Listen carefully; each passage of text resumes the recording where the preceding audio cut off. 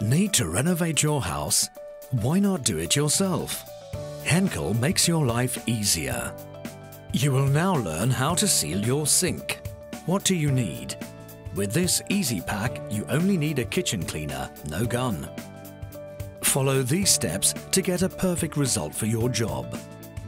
Open the pressure pack. Slide the switch from minimum to maximum to release the trigger. Place the nozzle at the starting point and press the trigger to dispense the product into the gap from the beginning until the end. Smooth the sealant before it starts to skin over. This can be done by using your fingers. Ensure you soak them in a bucket of water first. You can also use a smoothing tool.